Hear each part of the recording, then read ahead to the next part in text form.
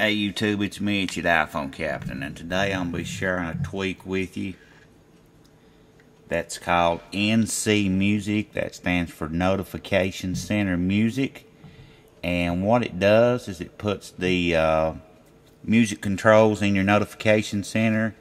All it does is it puts a play. Down here at the bottom of the screen you see play and you see next okay I have my phone turned on mute. Because I don't want to get hit with any music copyrights. You can see when I tap play that up here in the top right corner.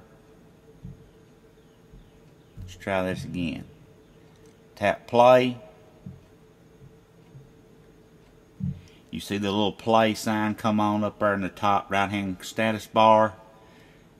When I hit next you'll see the uh, music art comes up in the little HUD tweak. That's that's called HUD if you want to know what that is putting that on my screen.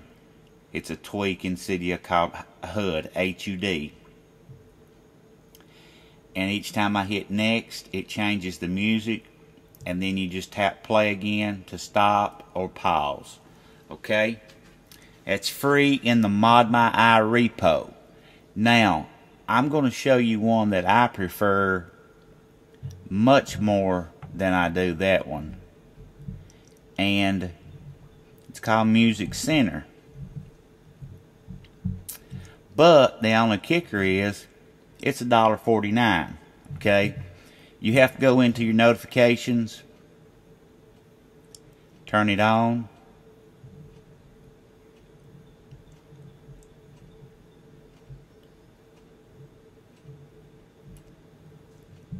You have to enable it, that's all you have to do. Go back out, go to your notification centers, and voila.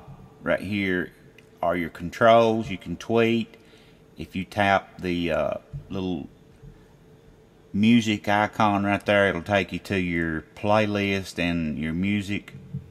And it even gives you a little cover shot of the of the music art so it's a dollar forty nine but this NC music here I really don't care for it but it's okay if you want something just quick pause and next but you can't really, you know, do much with it. I like the way this lays it out much better.